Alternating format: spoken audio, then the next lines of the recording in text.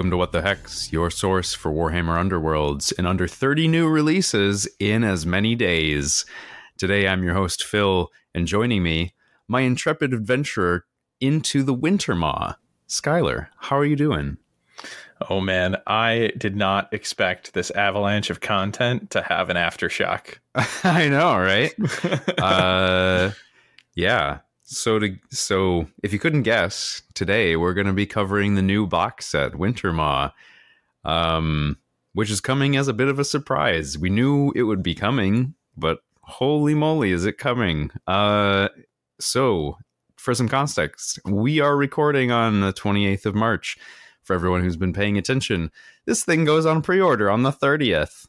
That is uh, exactly the same day that Zondara Gravebreakers and the Rimelocked relics go up for sale. Ah, GWY.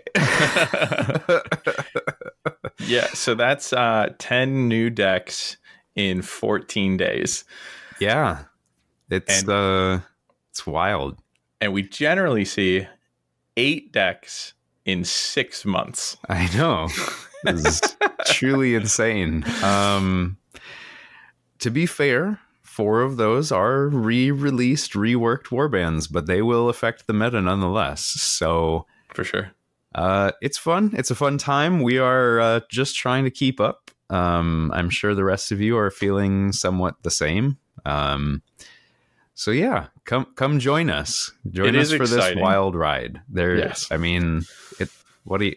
You can't complain about too many releases, right? Right.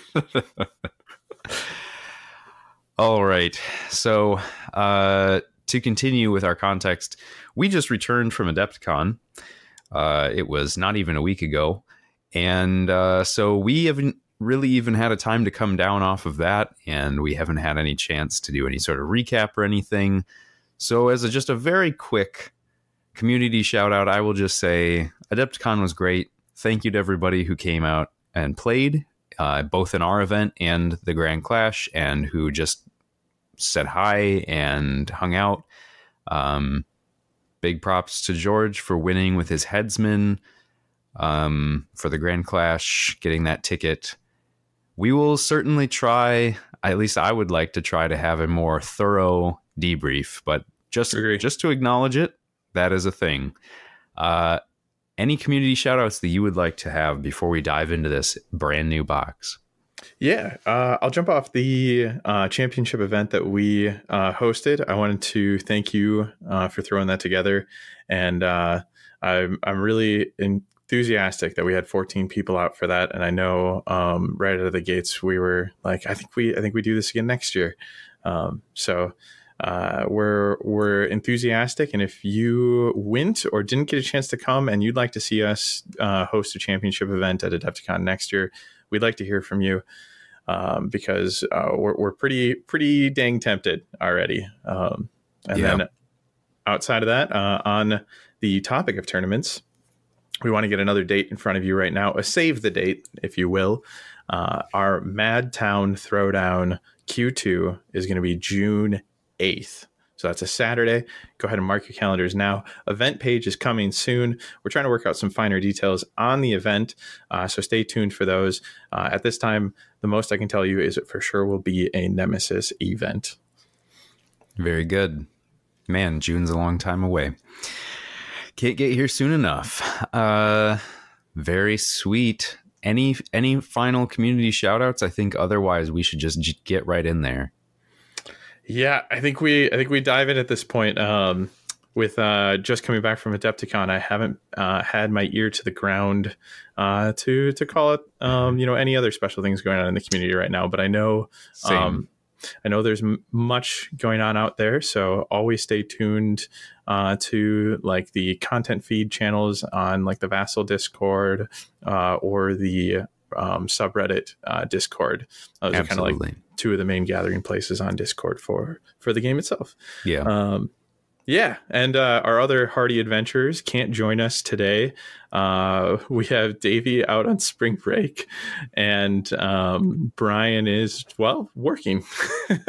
yeah. So, uh, and here we are.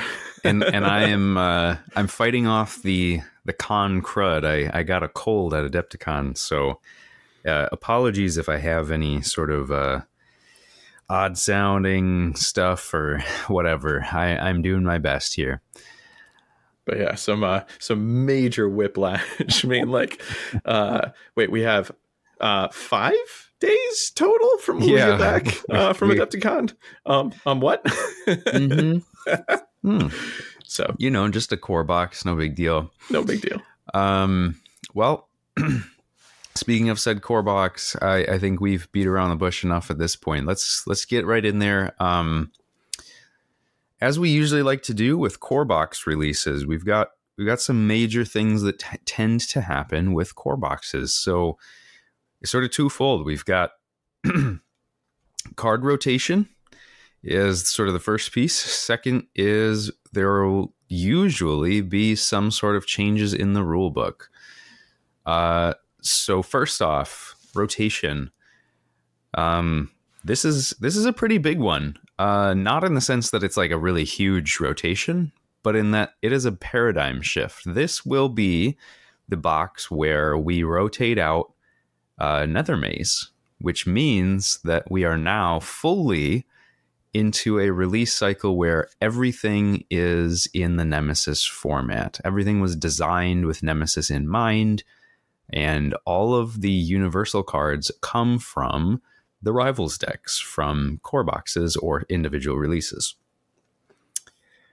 Uh, so, Skyler, what are what are your thoughts on rotation when we lose Nether Maze? Yeah, so mostly excited to embrace a new normal um, and excited to see um, what the two main formats are going to look like then, you know, Nemesis and Championship here. So, uh, particularly what I've been excited about is that as I've been like dabbling in both, primarily Nemesis, sure, but when I visit, revisit Championship, uh, I noticed that most of the cards that are being taken are from Nemesis decks today. Uh, not all, because you do still have the Essentials pack, and Nether Maze has been around yet. Um, but it means I only have to like as I'm interacting with Championship, I'm just seeing the cards from Nemesis for the most part, and that will be fully true. Uh, plus the essentials pack here soon. And so what that means is that anybody that enjoys Nemesis, like championship is just right like right there for them. Like when you get into it, it's the same card pool that you've been interacting with. Like in fact, you'll know and have in mind so much more of the card pool because you've been seeing it in your nemesis matchups. And you also like when you're building championship, like are still locked into picking like one deck that has a plot card and then the rest. So you've got a really like interesting choice with that plot card selection, but then you also have like a tighter pool all around to be pulling from. Um, but I, I guess in summary, what I'm trying to say is just like it's so cool that all the time that you spend playing Nemesis actually educates you on what you could see when you're playing championship. Absolutely. Um, it's it's going to open the doors to bringing the two formats a lot closer together, in my opinion.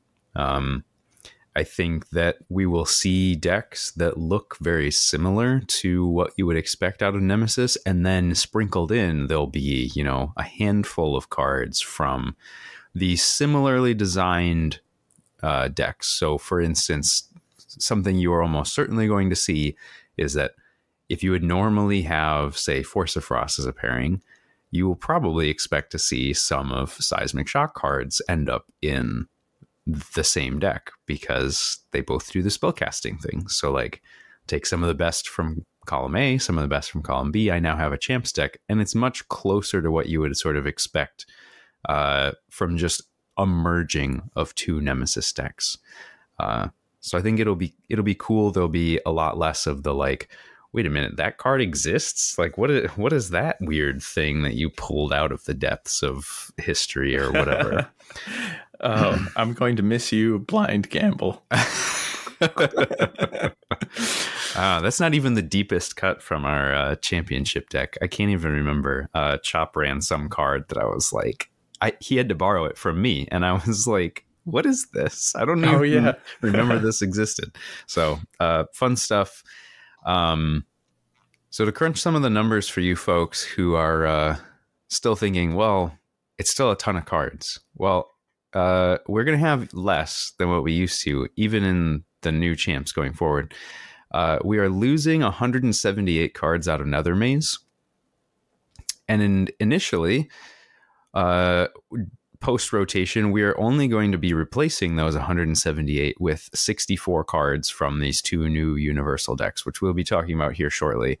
Uh, we'll get to more ostensibly throughout the rest of this season, but that still means that in total, we'll be losing around 50 total cards uh, from the champs format, even when this season is like fully matured.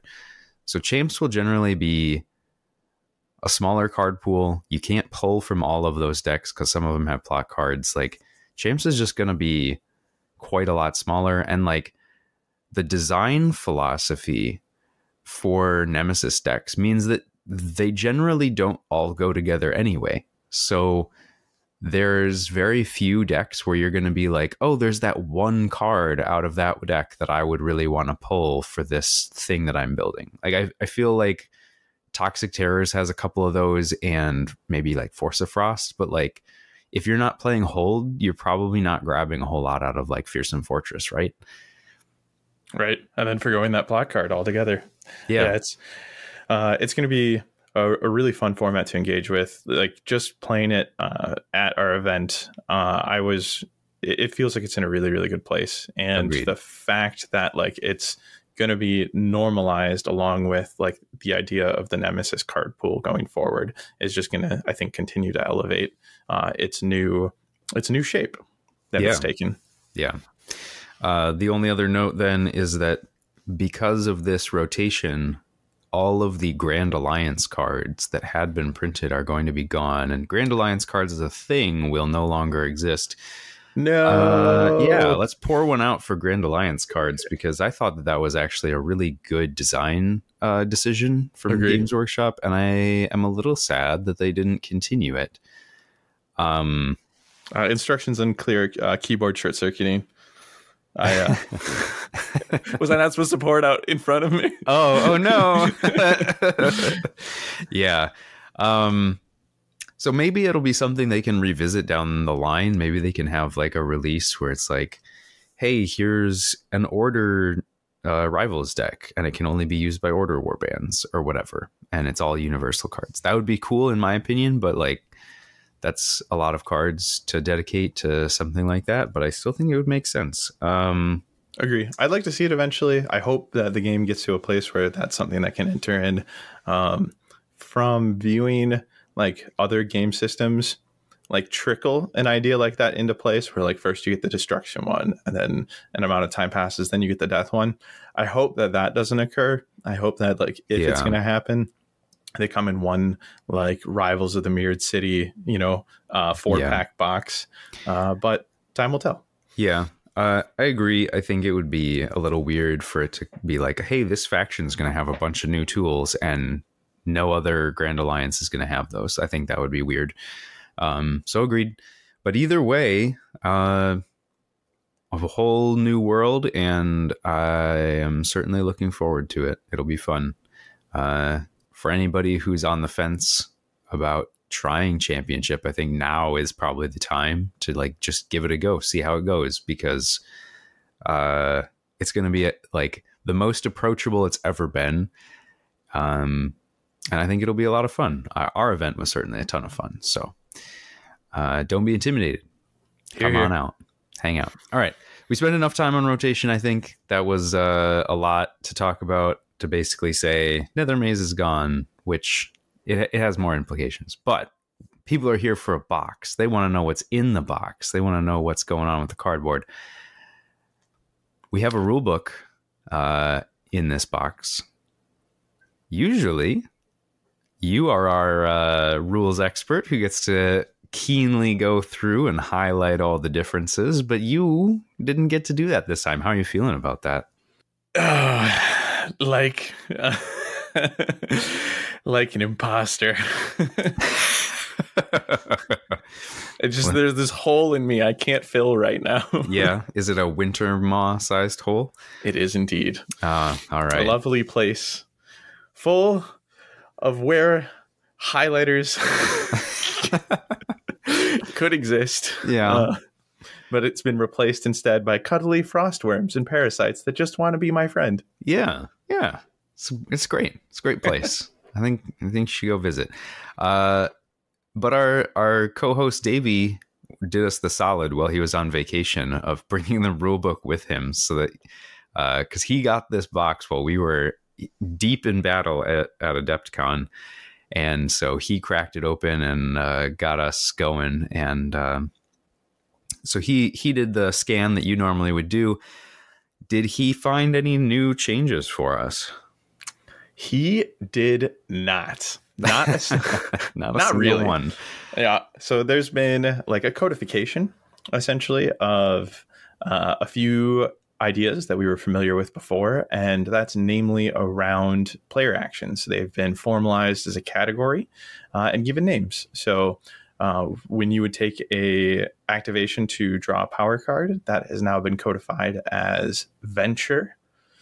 And when you would take an activation to cycle out an objective card from your hand, draw a new one, uh, that has been formalized as strategize. And beyond that, uh, uninspire has been carved out uh, and codified kind of as its own thing. Like it, it existed in concept before, and we were all familiar with it, but it, it's um, grabbed its own box. And now the same thing where, like, if you were to inspire an already inspired fighter, nothing happens. Same thing's now true for uninspired fighters. If you were to uninspire an already uninspired fighter, nothing happens. Yeah. Which is kind of, uh, I don't know, almost a welcome thing. Like, I feel like there's been so much change in the past few rule books where it's like every single one is like, oh, here's these like maybe not large, but significant changes. To have a rule book where it's just like we cleared up some wording, here's some slight tweaks, but overall it's staying the same. Yeah, it's actually uh, really refreshing. It, it's nice just because it, it lets us sort of settle a little bit before the next wave of changes comes. Um, and it also means that you know, there's not a bunch of stuff for newer people to learn right off the rip. So uh, I appreciate that. So that's uh, that's the rulebook. I imagine having keyworded venture and strategize, it'll probably become something that can be referenced on future rules, and we'll see it show up on cards. But for now, it really doesn't have any bearing besides just templating, and maybe it makes the glossy the glossary easier to use. But yeah, rulebook. I like it. Uh, we do not have much that we can say about the boards or the tokens or anything like that because we didn't actually get a good look at them. But from what I saw um, from the videos that they showed, it looks like some of these boards are a little wild. Uh, there's one that has like three snare hexes in like a triangle, and then like multiple block hexes on the same board. And so I, I think we're going to be seeing some pretty busy boards. Yeah, uh, interesting ones too. With um, man, so with with boards, uh, as excited as I am to like play around with uh, some new uh, formations, right? Uh, and and offerings from them. There are so many boards. like, there there are a lot of boards, and I guess we should say the Nethermaze boards will be rotating out as well. Um, but yeah. I don't know that I ever really used the Nethermaze boards all that much. So to your point, yeah, there are a lot of boards to choose from. Like if you just count the physical boards, there's what like 10, 10 or 12 yeah 10, 10. we yeah. got eight eight core boxes and then a starter box. Yeah. But then each side right yeah. counts. So we've got 20 facings. At, yeah, to choose from, which is nuts. Yeah, in a best of three, you only need three of those. So uh, I I wouldn't personally be opposed to um, you know, seeing seeing those get tighter, uh, where like you know you only have I don't know uh, the the current realm and starter kit, you know, to choose from from a board standpoint.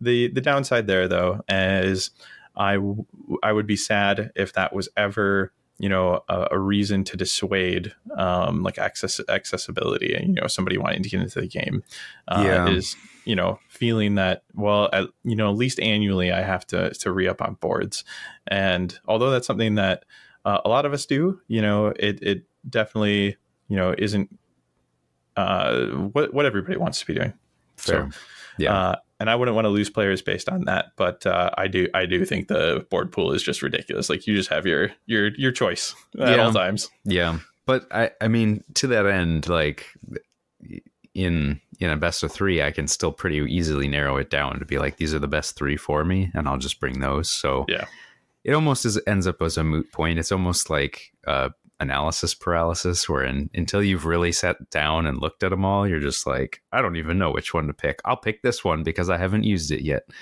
um, so sort of a few different sides of the same problem there but um, either way uh, that's probably about all we need to say about boards. Uh, I'm sure if you want a much deeper dive into boards, you can head on over to Monkey's Paw, which is or Monkey's Hacks. Monkey's Hacks, which is uh, the blog for um, Flavius. Yes, Flavius. He does great work breaking down uh, boards, board layouts, uh, deployment strategies, objective placement. If you want to, anything uh, to that degree of detail, please go go patronize him because we rarely get into that level of uh, board stuff. Uh, we probably should at some point, but for right now, that is not something we are doing. So uh, go go check him out. He already does it. It's awesome. Agreed. And if you want uh, any other details on the cardboard that's coming in, um, just trying to transition uh, to the OP kit here. So perfect transition, just nailed by me, viewers. I'm sure you'll agree, listeners. um, is uh, the the new organized play kit for Wintermaw? Like uh, the images have uh, come out for that, and there are move and charge tokens that are going to be acrylic now, and they look gorgeous in that frosty blue. So yeah. uh, get out to your local, uh, try to see uh, if there's an organized play kit available in your local. If there's not, uh, talk to your friendly local game store and see if that's something that can happen because. Um, there's usually eight of those packaged in the OP kits, and it's really great to, you know, um, be able to support uh, a local uh, with stuff like that. Yeah, a great incentive to try and build a new uh, play group if you don't have one already, or to just reward the players who are already in your play group. Um, uh, they're always great. I think the the play kits come with a lot of cool stuff. The alternate art cards are always great. So, very much looking forward to it. Um, will be very fun. All right, Phil. Yeah. Which warband would you like to talk about first? Well, with without having spent a lot of time with them, I think maybe we just start uh, in just in we just go in alphabetical order here. We we start with Brethren of the Bolt. Uh, so for folks who have watched the video, these are your lightning rod bandaged up cities of Sigmar guys, and for people who haven't watched the video, uh, I guess you now have a description of them. They uh, so so in in essence, these guys are uh, they're like Sigmar uh, acolytes who are just like fanatics turned up to eleven. They they believe uh, so strongly in Sigmar that every single one of them has been hit by lightning at some point. Some of them like Sigmarite, like Stormcast lightning. Some of them just regular old lightning, but they all believe that it was from Sigmar and it was divinely inspired. Uh, so some some pretty cool stuff going on with these guys. Um, to give a idea of what the warband sort of looks like from a sort of number crunch situation, they are a five fighter warband. They um, have a leader with four wounds. They have two fighters with three wounds and two fighters with two wounds. So they are uh, sort of middle of the pack in terms of survivability. Um, but they all have this pretty interesting ability on their plot card, which essentially says that they can make attacks using friendly fighters to sort of increase the range of their attacks. Although the way that it's worded is a little confusing in that it says you subtract the number of hexes between yourself and the target equal the number of friendly fighters in that range. The reason I can think of for wording it that way, which makes it much harder to read, is that they don't actually want the attack characteristic to change. They just want the distance to count as smaller. Uh, what do you think, Skyler? Yeah, that's my take there as well. I, when I read it the first time, I was like, "Wait a minute," and had yeah. to like do do a little bit of a reread and wrap my head around it. Um, but yeah, ultimately, you know, for if there's somebody four hexes away from you and you've got a range three attack, uh, but between you and that target, one of your own is uh, in the middle, you can use them to extend the range. Uh, yeah. and, and, make that range three uh, go go all the way up to four for you. Yeah, which yep. is pretty wild. So, and I guess what it really accomplishes is um, uh, put like puts these ranges still like under their same categories going forward. So, like a range one that's extended by everybody in a line, right? Still counts as a range one attack and receives yep. those benefit scores that way. So, I got to imagine um, that you nailed it on the head there, that that's why it's worded this way. Yeah, for other rules interactions. So, stuff that says, like, oh, this fighter can't be targeted with a range three attack or something. They didn't want uh, a range one that's being increased because of this to be able to be turned off by you know somebody else's rule. So exactly, some very weirdly worded, sort of convoluted rules to essentially get you to the point of saying your friendly fighters can increase your range, which is pretty wild when you think about it. Like in theory, that means that your range three attacks, if you have all four of your friendly fighters in between yourself and your target, you could have all the way up to a range seven attack, right? Yeah, wild, wild stuff. Uh, and and so along with that, and and it is I think important to start with that because it plays directly into their inspire. They all start inspired, and then when they make a successful attack, they'll uninspire. The idea being they are charged with this holy lightning, and when they hit somebody, it discharges. When they are used f- to increase the range of a friendly fighter's attack, they then become inspired again. Uh, they also have another ability, uh, just a regular inspire, to just say if they support an attack and are adjacent to the target, they'll inspire. So even if they're not used as a range modifier, they can also inspire. So pretty wild. What what are your thoughts of the fighters just and their mechanics as a whole? Yeah, so that uh, inspire box, by the way, I think is going to overlap most of the time with what the plot can do to inspire Agreed. them. But uh, it is nice that you know your footing can be behind the target essentially, and, yeah. and still uh, help you get nice and inspired there. But uh, I am like really uh, caught up in this one, Phil. Like I have been super surprised by it. I'll, I'll admit that when I first saw the models, I was like, I don't, I don't know. Uh, I actually thought it was a Death War band at first, and then I was like, wait, yeah, do we have bandages. a Death? Yeah, like a Death versus Death War band going on here. But as I've learned more about this war band, they have gotten their hooks so deep in me because uh, so if if Brian were on, he could tell you that um, like religious cults uh, is a narrative hook for me. I mm. really like like the cult of the wall in Attack on Titan, um, or um, in Dead Space, um, the Church of Altman.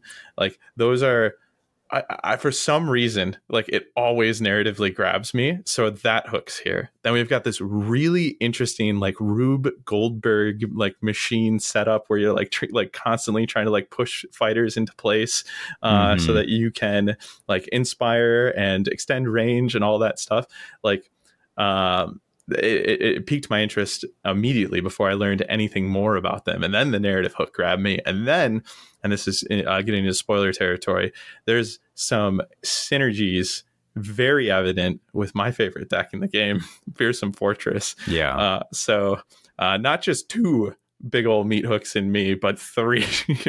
and you'd think the meat hooks would be coming from Skinnerkin, but no, they pulled me all the way in here.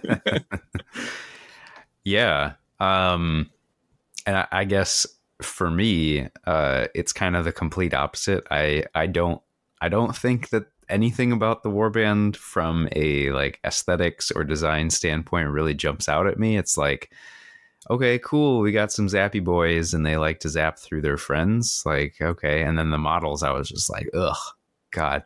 Uh, the, uh, all the like weird chained up, like electrode stuff, like very Frankenstein esque. And then I think the thing that really just was the kicker for me is the the leader where he's riding on the shoulders of his son. So he's like literally two guys in a trench coat. And i was just like i'm never going to play this warband uh, and i'm i i hold true to that after reading their cards although their mechanics seem to me like they're going to be very good. Uh, their attack profiles seem quite solid especially when you think about the fact that they can be having range two to three on every single attack if you line stuff up right. So, um, pretty cool. Uh, I guess if I were to try and find one thing that seems like their sort of weakness, I would say it seems like they are relatively slow and they have relatively low defense. So that is probably something you'll have to shore up, uh, especially because they like to hold objectives. Yeah yeah, health category too. We got two fighters on two health and then two on three, and our leader on four. Yeah, um, not a single one seen two def- two defense dice to their name. Yep, all on three move. Yeah, yeah, yeah. This so, is going to be an, um, an exercise in learning how to manage everything just stated. Yeah, um, to, uh, but you know, to that point, uh, you know we see uh, Loon Court doing pretty well right now, and they have, you know, not a ton of fighters that start uh, with more than one defense die and more than two wounds. Uh, of course, they can inspire much easier than they used to be able to. So fast, but uh, you know that that still works out. R and I have a lot of uh, very squishy fighters, although their defense characteristics are better. But still, lots of low wounds. So we've seen it managed. I think you can still do it here. I think so too. Should be interesting though. It, it seems like a, a balancing act uh, by the design team to offer such like interesting range and damage outputs. Um, you know, to to make sure that like that is even keeled on the on the other side of yeah. the equation, right? Like if you can get to these fighters, um, then you know, and you're getting to them with the right damage characteristics, you can probably really take them down. Yeah, I think I think you're right. I think it's it's just a matter of like how do you get there before they zap you. Um, so that should be an interesting puzzle. Uh, so that's sort of the fighters and the warband mechanics on a very high level. Um, again, if you want, you know, the deeper dive, we've done a full card by card review in our blog we would have loved to be able to do a deeper dive here for audio, but we really just didn't have the time. Um, the turnaround was just very short. So uh, we will we will certainly circle back uh, to I'm sure any number of these releases. But for now, just know uh, we're not we're not skimming over this stuff just to be teases. We're we're just trying to save some time. Um, but before we move to the next thing, I did think it would be fun if we could just each pull out a favorite objective and power card, or maybe yeah. of each power category. So gambit uh, and upgrade. Like that idea quite a bit. All right. Well, how about you start us off then? All right. So let's see. My favorite uh, objective is going to be uh, Conviction's Reward. This is a duel. Score this in an end phase if one or more enemy fighters are out of action and your warband holds two or more objectives. Mm. So right out of the gate, um, I'm just excited that this is a, a flex card, right? So we're um, yep. it's not the only one in here that's carving out this flex play identity uh, for them, and it's my favorite play style. Um, but this card is one I've ran quite a bit in the name Path to Victory, but it's even better than Path to Victory uh, because that card requires you to hold two uh, in your end phase and have uh, killed an enemy fighter in the preceding action phase. So here, as long as it's happened at some point in time previously, uh, doesn't actually have to be the the previous action phase, uh, mm. which cranks yeah. up like the value of this card. And yeah, uh, yeah, uh, big fan. Cool, awesome. Uh, I will pick uh, Sparking Furor just because this this card is a two glory surge, and I feel like it's going to be in every single one of their decks. I just sat up straighter. You said uh, two glory surge. Yeah, yeah, two two glory surge for those at home. Uh, your warband made one or more successful attack actions in the previous activation, and two or more was subtracted from the total distance between the attacker and the target by the Holy Vessel's ability for one or more of the attacks that you made. I don't know about you, but that doesn't sound that difficult. No, it does not. this could be uh this maybe is like some glory bleed assistance, right? Like Yeah, yeah, it could be. It could be. Um, um, I'm definitely gonna be trying this out uh like for a while. Like yeah. it's gonna it's gonna have to prove to me that I am very wrong before I start cutting this from decks because I At- think Absolutely. Um, yeah. Like I, I think that this is going to be a, a, staple of theirs. Yeah. Um, I think there's probably plenty of situations where just in setup, you can probably line up a range three attack with your leader that would be able to ex- have the extended range by two. Um, you you do have to be careful in the sense that it does have to be like the shortest distance. You can't like count extra hexes to be able to get your fighters in there. it, it is going to say like, okay, well, it's a range three attack. So any any way that you can count three to your target, if if you have the fighters in there, you can do it. But you do have to line that up. But with range three, like there's so many different permutations of how you can line this up. I I you do have to hit, but I mean uh, yeah. I will. I will just say three fury with cleave is a pretty accurate attack. I also think this card is going to be part of my mulligan decisions because you want to see this as early as possible. Like as soon as you oh, start yeah. lo- losing fighters, this becomes harder and harder. Which is why I'm like, like I wonder, you know, if eventually, um, like it will tune itself out uh, of my decks. But uh, I maybe I, I hope it doesn't because uh, yeah. I, I think it's really really fun to try to like lean into this early. So the only way it ends up dead is if you lose three fighters. And if you were losing three of your fighters, you're probably in a bad spot anyway. So yep. I don't know. Uh, I yeah, don't need to spend any more time on it. I was just when I first read it, I was like, what? yeah, yeah, I think it's a, an interesting pick. I'm glad you chose it for this. All right, uh, Gambit. One one favorite Gambit here. All right, I can't not pick Reverse Charge. sure, because it is just just chef's kiss pun level here between the idea of a reverse charge, like in the electrical sense, as well as the mechanical sense, reaction. Play this after a friendly fighter's attack action if that fighter has no charge tokens, that fighter makes a move action. yeah. So why don't we go ahead and spin uh, that that move attack backwards and make it attack move? Yeah, reverse no, charge. Good, though. Yeah, and uh, with um, you know, you've got a range three fighter and a range two fighter out the gate. Um, but even if you're in a bad spot with a range one fighter, you can get that attack off on you know, and then boogie on out. Yeah, I, I like it quite a bit. I think there's there's lots of warbands that wish they had a card like that.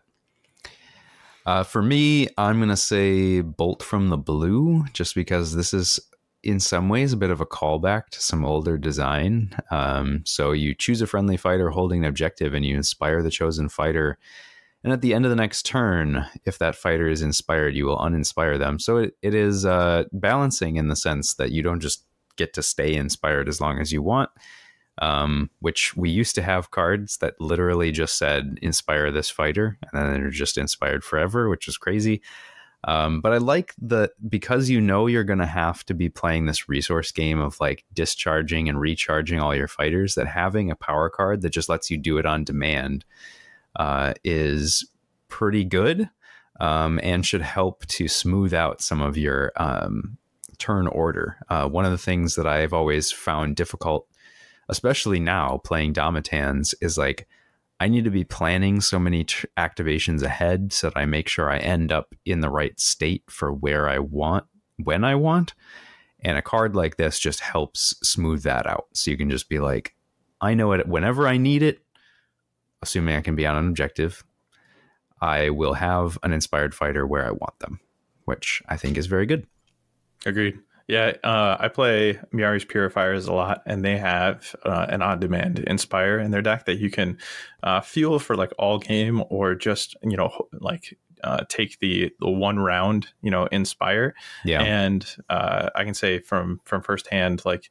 Uh, even if you're just taking, like in that case, it for the round, you're taking it for the activation. You need it, and it's it's going to like do work for you. So I was excited to see that here uh, just having played around with the concept, you know, a little bit um, um, elsewhere. Yeah. So, all right, and then uh, one upgrade that you would like to call out. So the upgrade for me is Holy Spasms. I like this one too. This is one I was thinking about. It's so good. it's a reaction. Use this after this fighter is inspired or uninspired. Push this fighter one hex. Man, that can be a lot of push. It's so good. Yeah. Uh, listen, listeners, uh, if there's one thing we've imparted over the years, I hope it is that we love push deck. well, and beyond the fact that we love it, it's just good. Word. Like even if even if it was like a pet thing for us, which it is, but like it should be for everyone because it's free movement. Yeah, and here so good. It can like really change how um like tax can be carried out with yeah. all the range dynamics that you're dealing with. It's really cool. Yeah. Uh there yeah, there's just some pretty wild scenarios where you could be like inspire push attack so that then you discharge to push again so that you're lined up to be used to get attacked, get inspired again to then push and it's just like, oh man, and a warband that cares about holding objectives too. Oh, so good. Beautiful. Uh, I love it. You you stole probably my favorite, but uh, I will pick another one that I think is very interesting. I will kind of have to reserve judgment until I see what happens in playtesting with it, but uh, it is along the same lines. It's called Fervent's Release. Uh, this one, and I don't quite know how well it's going to end up playing, but it is a reaction that after this fighter is uninspired, heal one this fighter.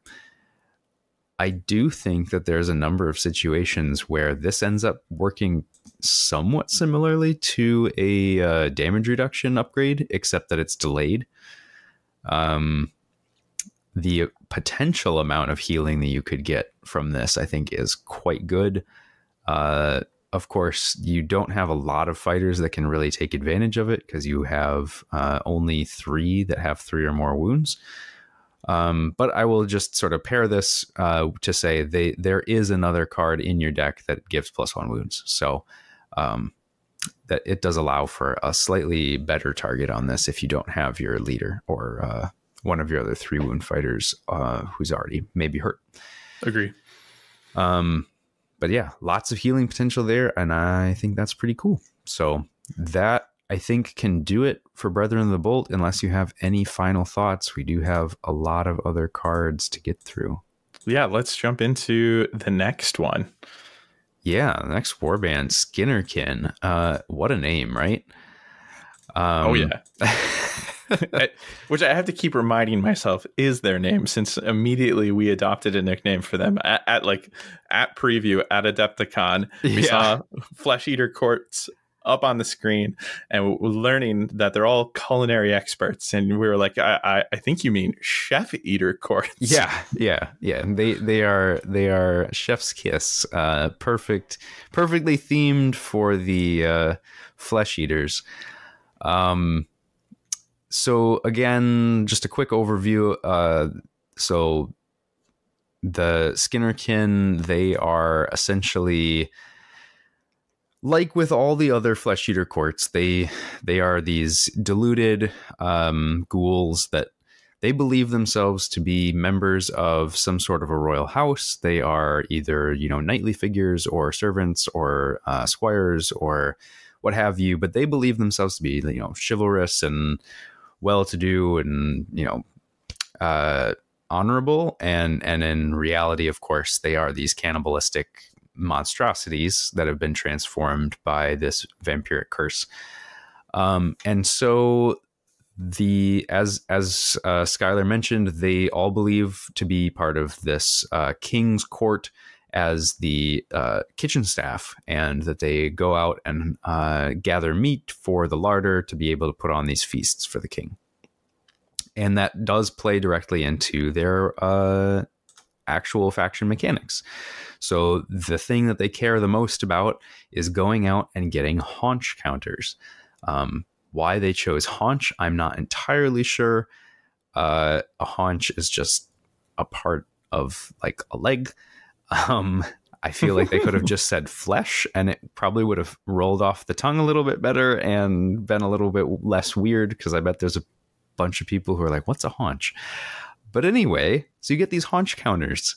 Um, how do they get them? Well, it sort of depends. Each of the different fighters does it in a different way.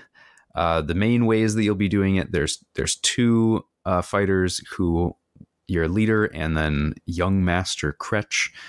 If they land a successful attack, they have a reaction. Uh, well, I should say they land a successful range one attack, they will gain one haunch counter.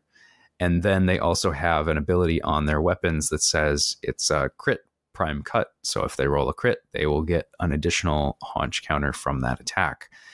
Um, it is important to note that haunch counters go on you, the player, sort of like tithe counters from uh, the Ossiarch Bone Reapers, Kainan's Reapers. And so you have this stockpile of haunch counters, and then you can use them to do different things, which you can see on the blog. There's a number of different things you can do with them. Um, nothing inherent on the fighter cards themselves, though, which is slightly disappointing. Um, there is one additional. Well, I guess I can say there are there are two additional ways to get haunch counters outside of those two fighters. You have Flensmaster Pudrig, who has a reaction that says when an adjacent enemy fighter is taken out of action, he can gain a haunch counter. Uh, this does not say that it has to be from an attack or from something he was supporting or whatever. It's just they were taken out of action, so it's fairly flexible in that sense. And then you have this big bat ghoul called the Karn Skier, and he has a really cool ability. So I guess I'll just read it in totality. It's called uh, grasping talons. So it's a reaction after this fighter's move action. So important there that happens during the middle of super actions like charges. Uh, you will roll one magic dice for an enemy fighter whose hex this fighter moved through. So you, you can only choose one, even if you moved through multiple fighters. On a channel, you will deal one damage to the fighter and gain a haunch counter. So that's the way you can gain an additional haunch counter. Otherwise, you can push that enemy fighter one hex, uh, which is pretty cool. Um, they have a really flexible ability, although you don't actually have any control of which mode you get. So don't like plan for one or the other too strongly because uh, it's a perfect 50 50. That's a fascinating ability, though. It is just, really, really fascinating. Uh, it's one of the things I like the most about the Warband. I would um, say the same for sure. Yeah, yeah it's like a, a built-in Soul Siphon, uh, like plus from yeah. um, the Lady Harrow's Mournflight's upgrade pool. Yeah, um, just straight built in.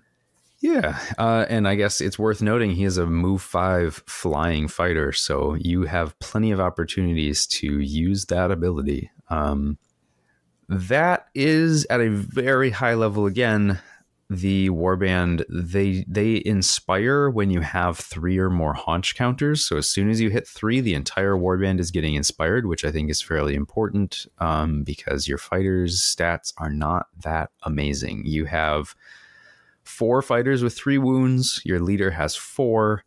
They all start on one defense die, some of them on block. Or, or, well, I guess only your leader starts on block. Everyone else starts on one dodge, which is yikes. Uh, and then a couple of them will inspire to two dodge. So, which can be pretty explosive in the defense category yes can be can be pretty good but you have to get there first um, and since everything to get you uh, haunch counters does require that you get into your opponent you are definitely going to be losing a couple fighters i would imagine i think so too as well thankfully no two wound fighters i think if they had any two wounds i'd be very suspect um, but three in Nemesis, I feel like, especially in round one, almost always survives at least one attack. So Obviously, Agreed. you can get pinged, but like there's uh there's only occasionally, you know, somebody on a team that can hit that three damage early on their own, and it's always only ever one fighter. Yeah, uh, it feels like so. Yeah, yeah. So it works out pretty nicely. Um, it does mean so like if you couldn't have guessed, this is a pretty aggressive warband. Um, their whole shtick requires them making successful attacks or rolling crits in their attacks or moving across you know enemy fighters so uh, there is a lot of be in your opponent's business be adjacent to them be moving through them so very very aggressive um, that critical ability earning the name prime cut is just fantastic it is it is very nice it's very on the nose with the theme there um, so that's the fighters' general mechanics. Uh, we don't want to get too far afield on these guys. I I think they're one I'm really interested in. Although I do think out like between the two war bands, when you look at their mechanics, uh, one being like all about extended ranges, and this one about being all about being right up in your face, it does feel like a bad matchup, right? Yeah, a little bit. Um, kind of feels so like they have the health to survive, like if they're not being um, targeted by um, the Bolty Bros, you know, twice in a, in a round. Yep. Uh, so it's almost like a game of um, like siege attrition, where it's like, all right, we're gonna, uh, you know, the brethren are gonna line up and and start firing as these things come in, and then whatever survives round one uh, is it's going to get really bloody from there. Yeah, uh, in two and three. So I th- at least that's the you know first impression. Uh, I haven't actually gotten a chance to uh, try these two against each other yet, but um, given that I would generally favor a side with ranged when it's hey you you can range and pull back and this other warband like in order to do everything they need to do they need to get to you and land attacks. Yeah. I think um, I think this box might see a bit of uh, skewed um, versus like out, out of the box. Yeah, straight rivals. Yeah, I agree. It is one of my concerns with the box straight uh, for like new players. Um, not not to say that people always are just like, yeah, let's just play straight out of the box, but I do think that does happen. You know, you get like two friends who are like, hey, let's split this box and we'll learn to play together. Um, I certainly know uh, that's what I did when I first started. I played Shadespire straight, and it was just like, "Yep, I'm gonna play Reavers. You're gonna play Stormcast. Let's go!" And it was just like some games where it was like, "What am I doing? Why am I even trying?" um, so hopefully, uh, if if you're out there and you're learning and you're like, "What's going on here?" It's like, don't worry. Uh, Nemesis is your friend, and you don't have to always play this matchup. Yeah. And I don't think that um, it's a completely one sided situation, but um, no. The the phrasing I'm I'm trying to impart is I, I do think that brethren are favored here. Um, Agreed. Uh, uphill battle, uh, maybe for yeah. the Skinnerkin here.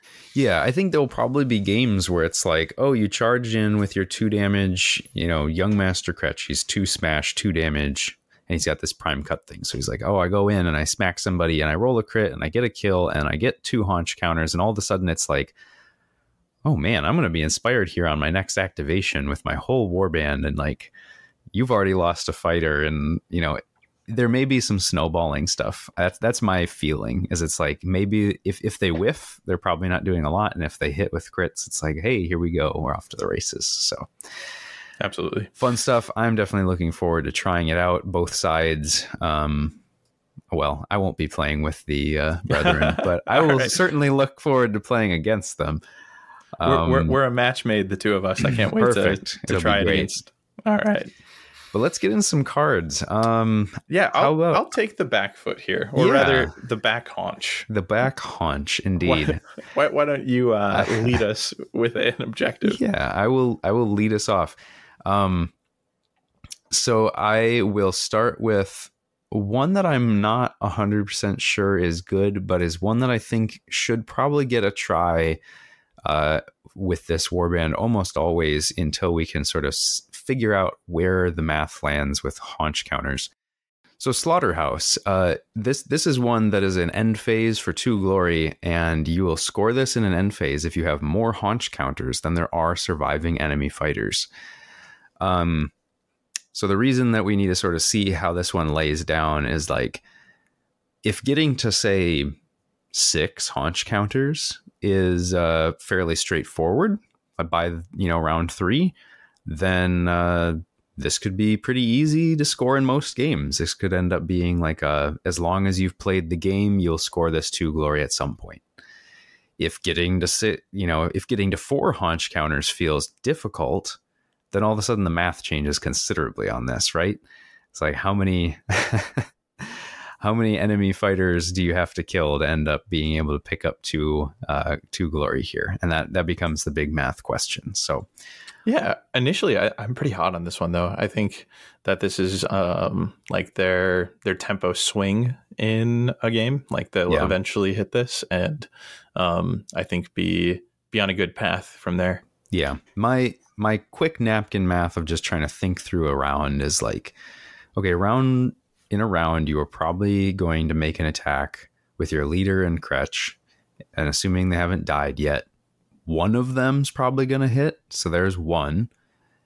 Uh, and then between the Karnskir getting to have a 50 50 just on a flyby, and then like Pudrig getting to do a thing if you kill somebody next to him, like it feels like two in a round is pretty reasonable, and you could easily spike to more than that.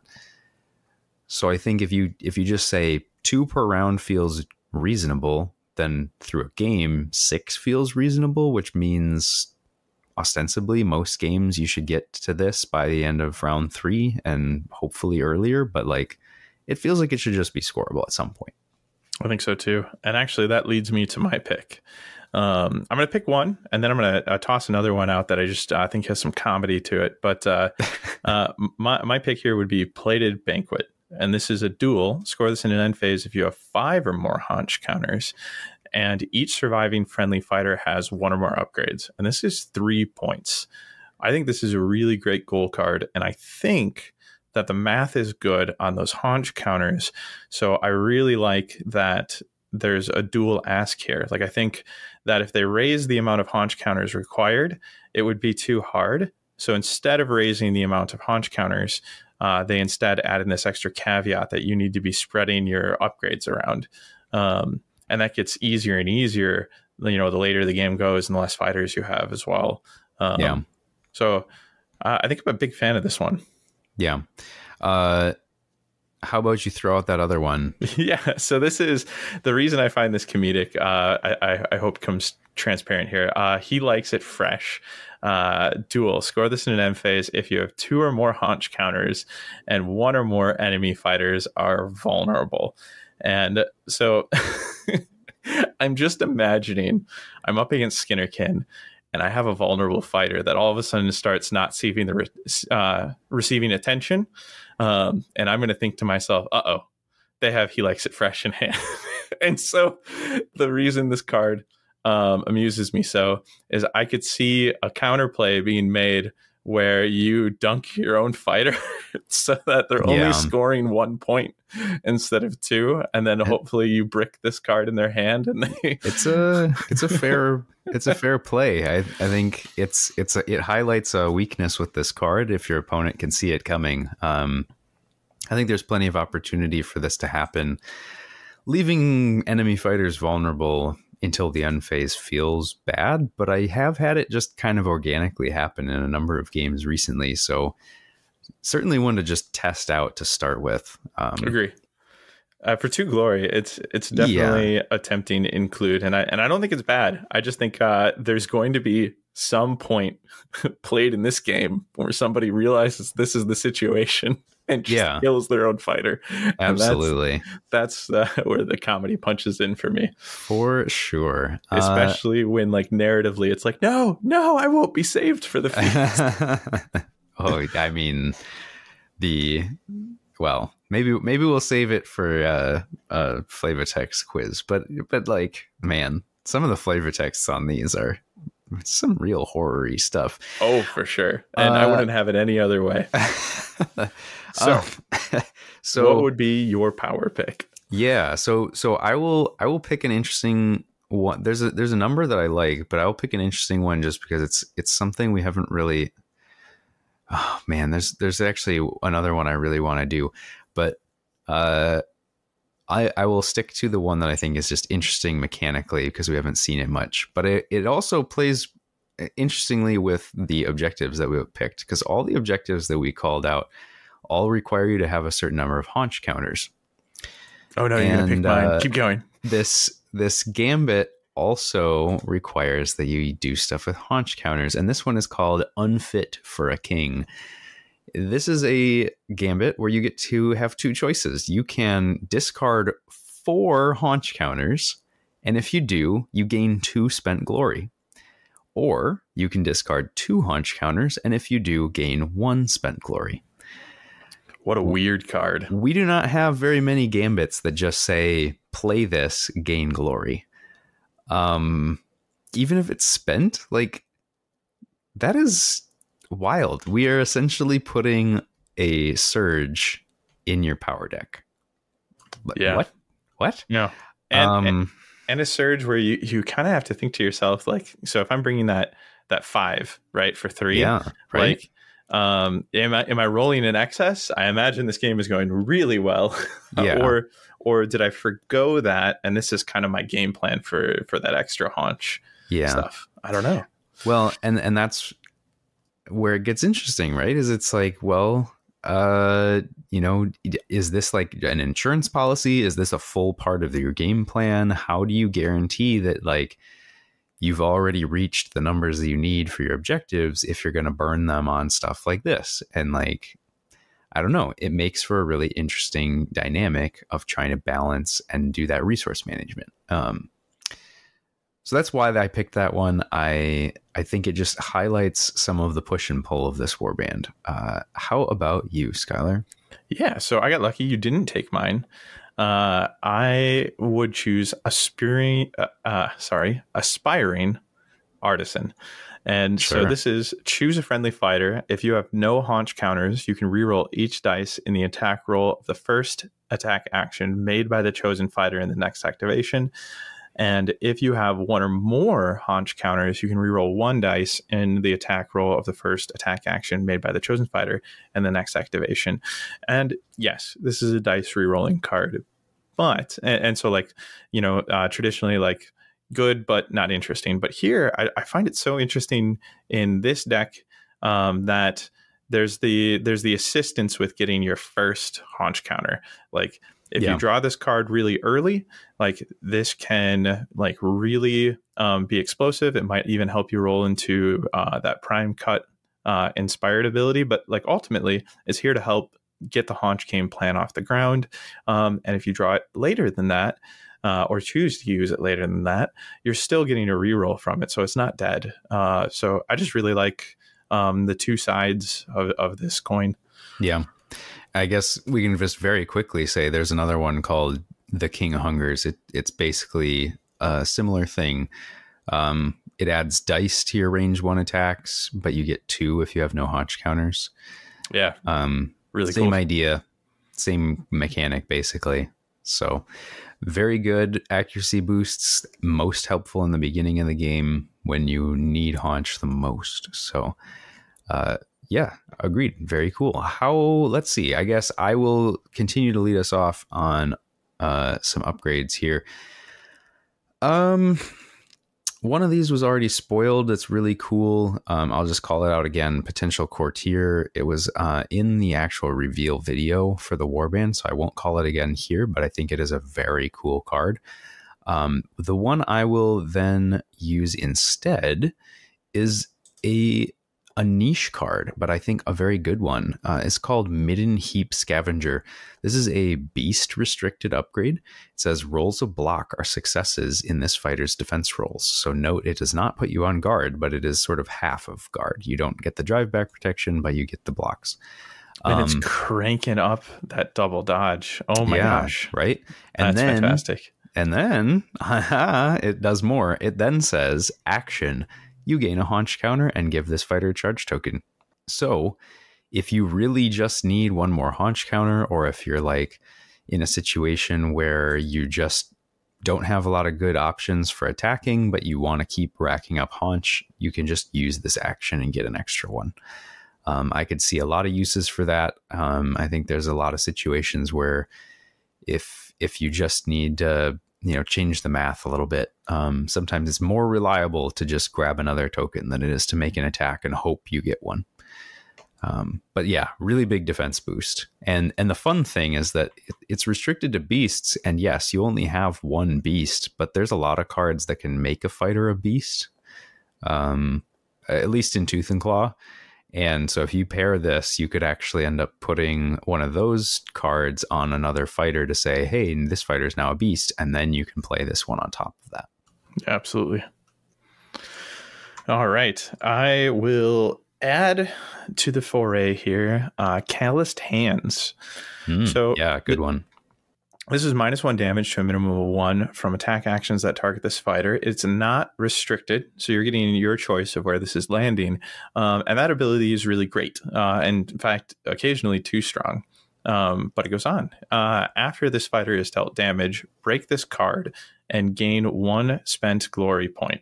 So I like this design just quite a bit because um, if it is an attack that comes in and does this damage to you, you're, you're seeing that mitigation. It's seeing a one time use gaining you a glory point. So your opponent has to think about you know the the value there as they're making that attack but um, the the break and glory is from any source of damage uh, so you could self damage to make this happen and just grab yourself a glory point um, or if your opponent really wants to make sure that attack lands in full uh, and they have access to some sort of like ping or, or power based damage, like they can like tee up kind of like um, where you think you're safer than you are. Uh, and all of a sudden this card breaks. Uh, you take the damage from it breaking, right? If it's coming in with um, you know some form of damage to break it, and then uh oh, I'm not also not going to receive damage mitigation in a moment, but I'm getting paid for it. like, it's yeah, just, it's it's fun all the way around. I I in thinking about it, it was like, well, man, they put another glory in the power deck. Like that's almost like getting another surge in your deck. Um, you know, if your opponent doesn't want you to score that upgrade glory, they're just gonna have to never damage that fighter again. And like, that's horrible, right? But handing your opponent a free surge is also horrible. Like, uh, so I like that it gives some push and pull. I I don't want to spend a lot more time on these guys because like I think we've already spent a good amount of time on them. And we'll we'll be coming back to them. Oh, for sure. Um, but I had done a quick count through their deck to be like. After reading everything, I was like, man, it feels like there's a lot of glory in here.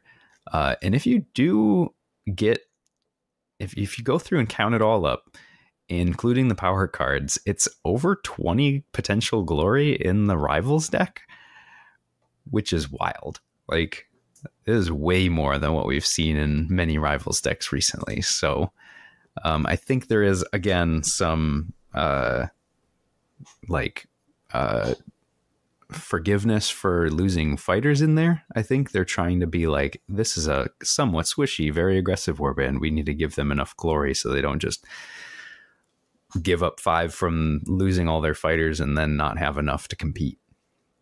But it's yeah. very interesting. And I thought, I was like, oh, that's probably something worth calling out. I think so too. I, am pretty excited about their inclusion in the game. Like I would uh, initially, first impressions, classify them as your traditional ABC aggro, right? Always be charging. For yep. those not familiar. Yeah. um, but like they've got such a unique spin on it that uh, it still feels fresh, uh, like the meat that they're harvesting. Yeah, yeah, absolutely. No, no bad meat for the king.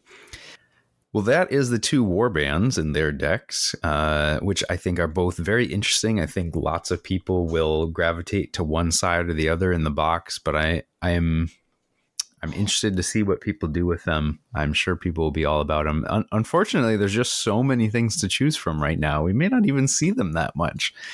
Yeah, um, what a, what a weird period of time injecting seven warbands into the game. Like, yeah, right. Traditionally, it feels like uh, every release gets their spotlight, and you see like an influx of that new thing. But but right now, I think it'll be the first time in a long time um like because it's been Direchasm since we've seen it uh like release sprint like this uh, flush, and uh, yeah, yep. I think it, will it'll pull away from um, you know how much spotlight you see on each each new one of these seven war bands.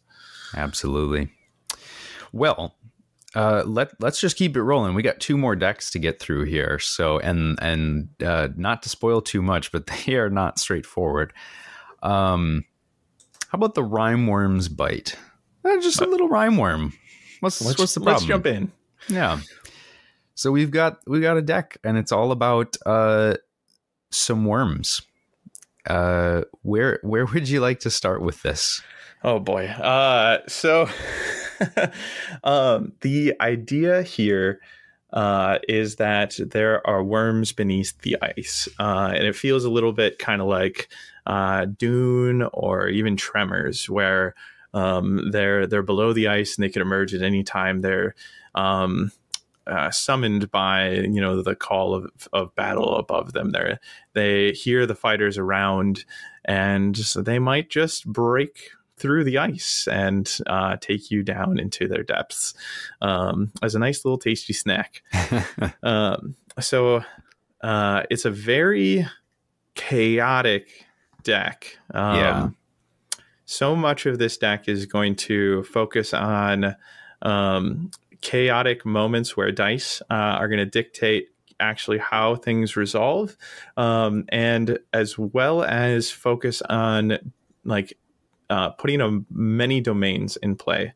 So uh, I'm, I'm, glad to see another deck come out and uh, sit domain flush because I think that's a really interesting space that I want to continue to see explored. And I don't want to see it oversaturated. I, I want it to be interesting when uh, somebody is playing a domain deck if uh, the opponent uh, has packed domains of their own, you know, to help offset the domain tempo and, you know, take away the domains that are coming into play with their own. Um, yeah, uh, I think I think that's kind of where I'll, I'll, start with this deck. Do you want do you want to add anything to that?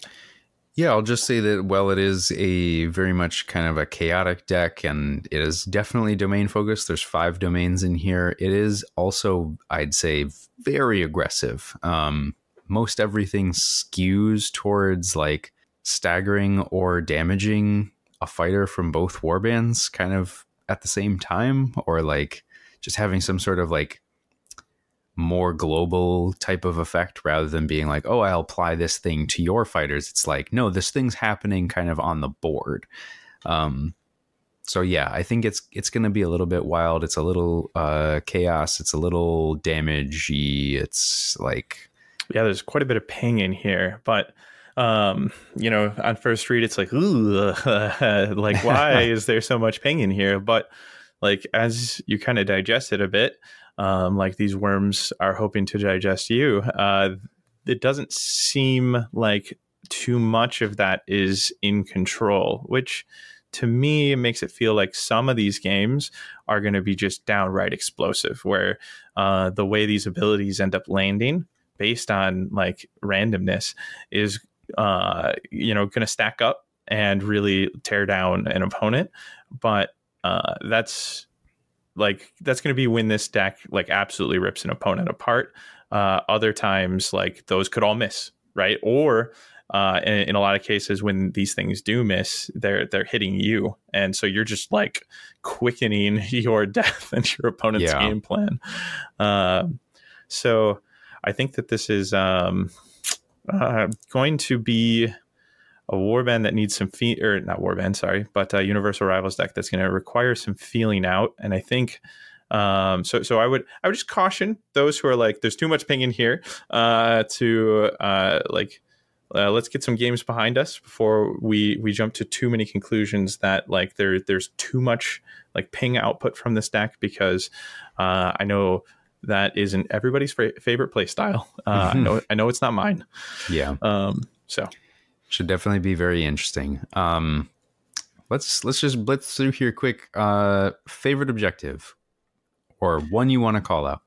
So, favorite objective would be, or at least one I'm calling out, uh, is going to be never punished. Uh, so, this is a two glory end phase. Score this in an end phase if there are fewer friendly fighters that have one or more wound counters than there are enemy fighters that have one or more wound counters. So, again, there's this chaotic nature in this deck where everybody is getting wound counters. So Oprah's handing them out.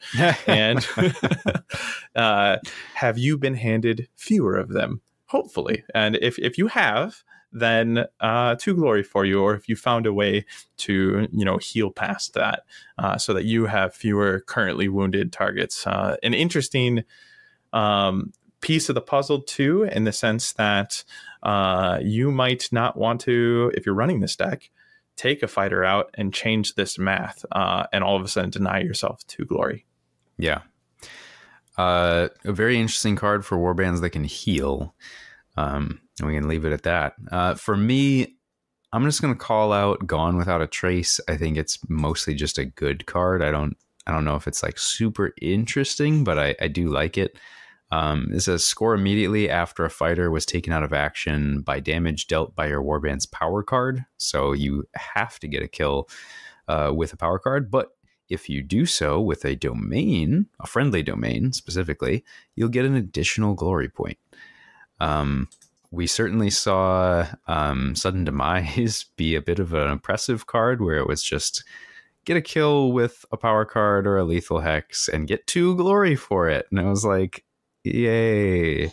I think this is a much more interesting take on that because it's only one glory if you get the kill with the power card, but uh, if you can manufacture it where you're killing with a domain, you do get that extra glory, and I think it adds a lot of uh, a, a, interesting play where you're like, "Ooh, I have to like set up these kills with domains."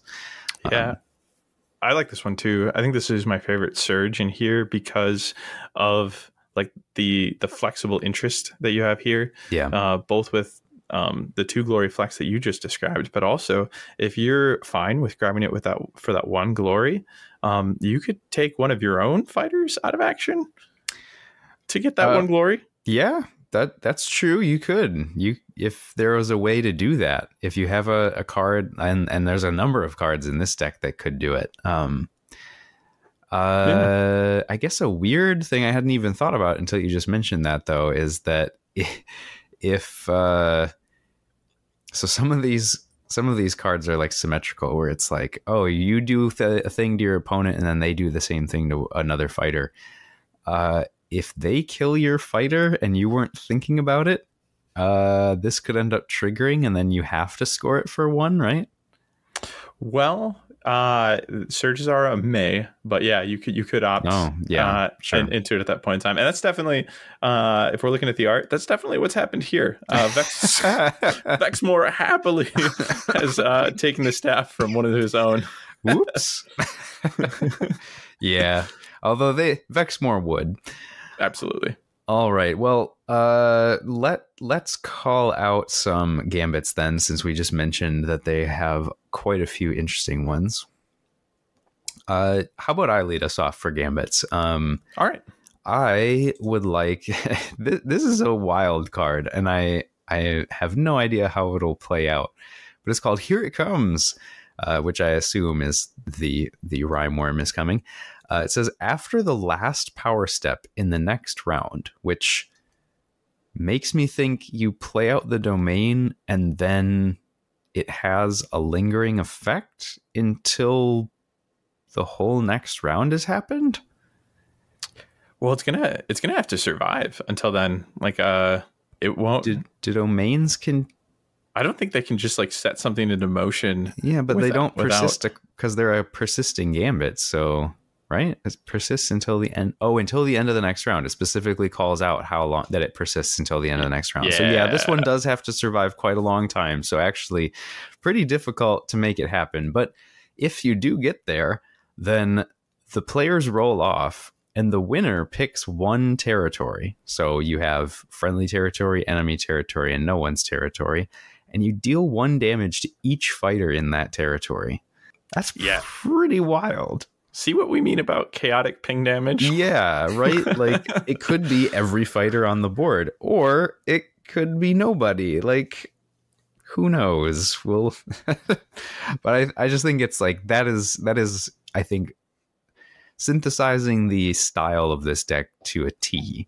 I think so, too. Um, very much an interesting one. Uh, what do you have to pick? Yeah. So keeping in mind that there's five domains uh, in the ploy section here, uh, reemergence. Pick a friendly Rimewyrm's Bite domain card.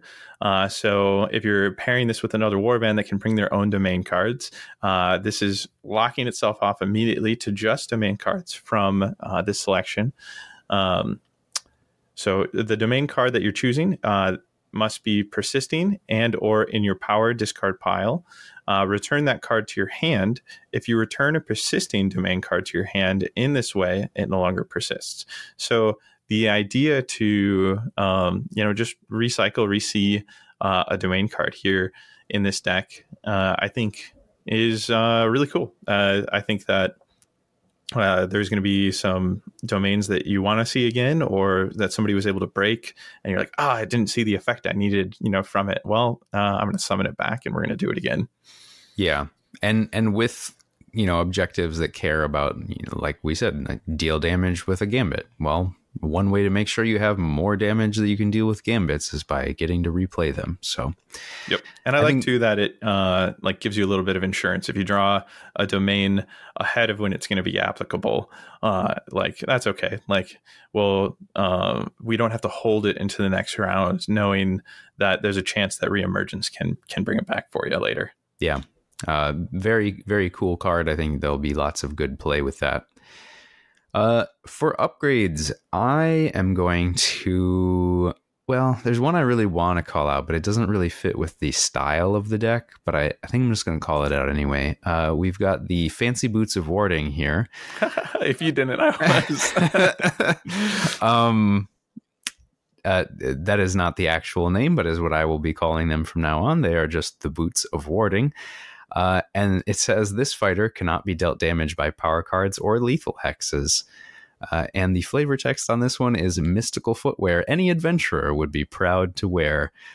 Uh, I love this card on a lot of levels, but for people who are really upset about wizards right now, feel free to just don these boots and never have to worry about their gambit pings. Feels good. Agree. Well, the pick for me is going to go hand in hand with um, the objective that I had highlighted, and that is inured to hardship. Uh, so, if you're looking for a way to shake wound counters, we have when you give this f- upgrade to a fighter, heal one that fighter. Uh, if that fighter is large, give that fighter a guard token instead. Oh, thank goodness. Yeah, Uh, and then reaction at the start of a round, heal one this fighter unless the spider is large. So, uh, you know, most of the time this is going to be doing the heal. And instead of just barring it away from large, I think it's rather interesting that they said, you know what, for large fighters, here's here's what. Uh, you, can have another upgrade towards your upgrade count or whatever. Um, and just, just on application, you get one guard token. Uh, and that's it. That's all this is doing for you. Um, but uh, in every other situation, it's not only healing you at the time uh, of application, uh, which could help you with the math for um, the objective I highlighted, uh, named Never Punished, uh, or um, you know, uh, it could go a little further for you at the start of each round if you draw into it early. Yeah, this does a great job of dealing with the problem of these types of cards that they've always had, where you play it out and then it does nothing until the like the beginning of the next round. essentially this way it it always has an effect when you play it out and then will have the subsequent effects as you go through the game which is really nice um, I, I like that they've sort of fixed that design space Agree. and Well, to give this deck kind of a little bit of a send off here in the episode, I, I think one thing I want to say about it as well is it seems that it's accounted for um, getting kills with um, power cards, and it's it, like from a glory standpoint. I don't feel this deck has the most reliable like scoring objectives in it, or even um, like the the deepest in value. Uh, there's no uh, three glory in here. I don't think there's any that flexes into it. no there's Um, not Yeah, and even that surge uh, that we talked about that can flex into two, um, you know, uh, that's a May. So there's not any, and and that probably makes it one of their more reliable staples. Um, but there aren't any like heavy punishing cards in here um, to like really crank up uh, both the fact that you're you're going to be losing fighters a little more when you're up against this deck um, if attacks are landing and and the ping damage is landing um, so i like that offset i suppose is is what i'm Yeah. getting at No, I think it's a very good, a very good thing to call out. Um, all right, we got one thing left to do, and uh, it's it's also pretty complicated. So this is the hungering parasite deck. Uh, this is essentially a deck of a mini game, I guess I would say. Uh, so it's it's sort of past the parasite. Um, no matter what, the parasite yeah, yeah. No Oh, matter so what, apt. throughout the game, you are going to have this upgrade that you will have to play out, and uh, you will have an infected fighter, um, either one of yours or your opponent's. Um, I will read the plot card here in a moment.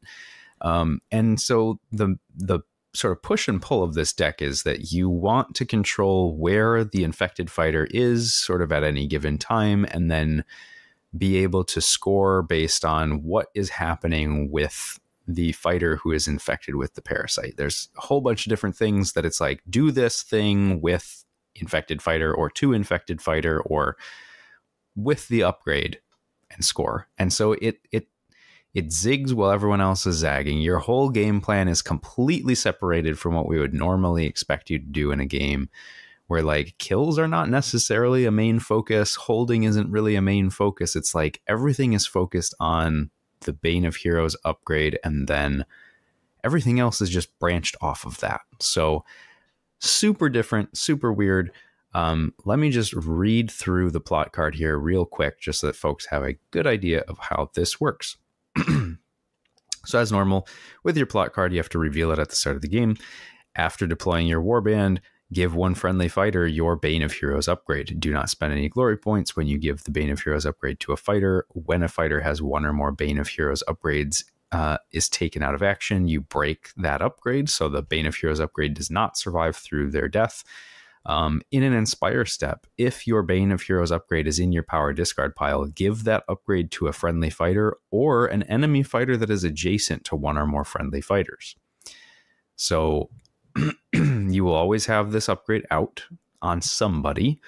And if you happen to have an adjacent friendly fighter, when you place it, you can then give it to an opposing fighter, which there are a few different things that care about your opposing fighters having the upgrade. so important to know sort of how it gets passed around. Um, you can pretty much always guarantee you can put it on one of your fighters, but your opponent's fighters, you have to find ways to get it out there. For the upgrade itself, it says uh, this upgrade can only be used as described on the plot card and cannot be included in or added to any decks. It's just it exists outside the game. Fighters are staggered well within one hex of this fighter, and you are within one hex of yourself, so you will also be staggered when you have this upgrade. Yikes. Uh, and then this fighter is uninspired and cannot be inspired. Double yikes. At the end of the action phase, this fighter's player chooses a fighter within one hex of this fighter, deal one damage to the chosen fighter. Again, you are always within one hex of yourself. So if you don't have another fighter nearby, you will have to take one damage. If there is another fighter, you could put it on them instead, but it doesn't have to be an opposing fighter. So all of that is to just be able to say, this is the basics of how this deck works. Are you keeping up?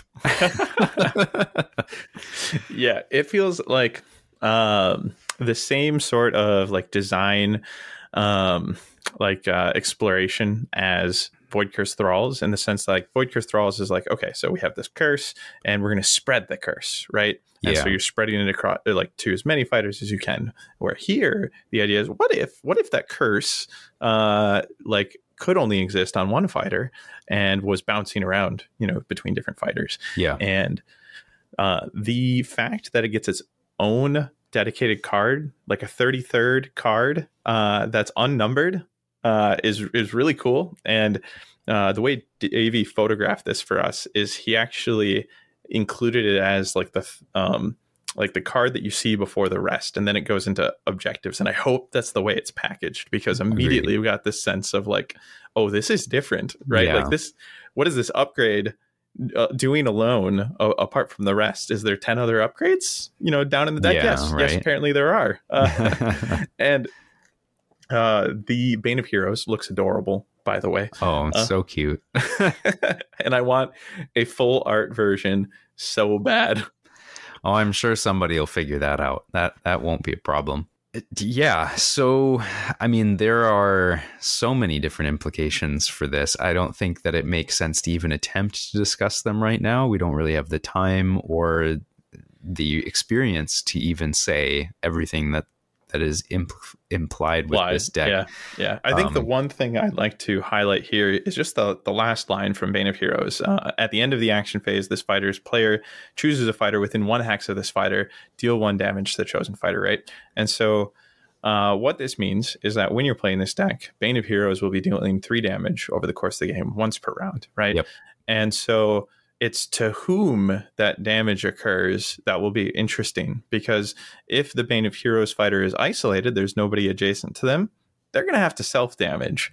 Uh, and like that, I just think is going to be the interesting element of of that well, one you know damage being passed around is like, yeah. can I make sure that this is happening to an enemy fighter? Is this happening to my Bane of Heroes? Is that okay? Um, or do I need to pass this off to an adjacent friendly fighter? Um, regardless, there's three damage happening over the course of this game. Yeah, yeah, just just from the inherent deck being played, like there's there's nothing else that has to happen. So, very interesting. I think there's just so many different ways that this deck can probably be played that like man it is it is a, a wide open uh playing ground for anybody who wants to get weird and start to experiment. I Agree. Uh, with that in mind, let's call out a couple up objectives. Um, how about you start us off here, Skyler? Yeah. So uh, one I like is Thwarted Destiny. Uh, this is a Surge hybrid. Score this immediately after an Inspire step if you gave your Warband Bane of Heroes upgrade to an inspired fighter in that step, or the fighter that has your Warband's Bane of up, uh, Bane of Heroes upgrade was taken out of action in this turn.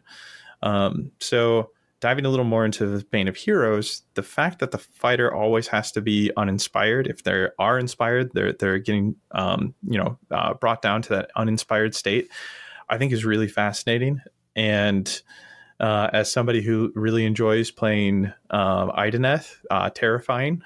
yeah, right. Be- because I really do not want to see this deck across the table from me if I'm playing either Idoneth Warband, because if they're able to pass this over during, um, you know, my my time to shine, uh, they are reducing my like potential greatly for for that turn. So there's some fun counterplay specifically against Idoneth, just just baked into Bane of Heroes here, um, but you know, you're scoring this if you're taking an inspired fighter down to uninspired, and you're or you're scoring this if they take your Bane of Heroes upgraded fighter out, or you're taking theirs out, depending on which side of the field this parasite's currently yeah, on. Right.